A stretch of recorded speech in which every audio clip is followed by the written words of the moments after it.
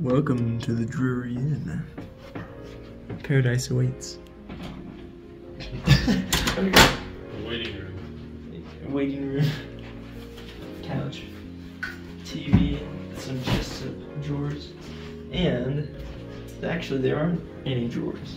There is a drawer and a fridge and a microwave. If you want to put your We have paintings of lions. Very fun.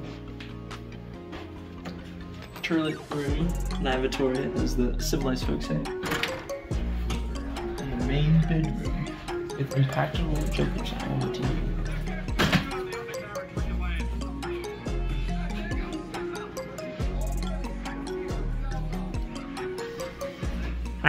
TV.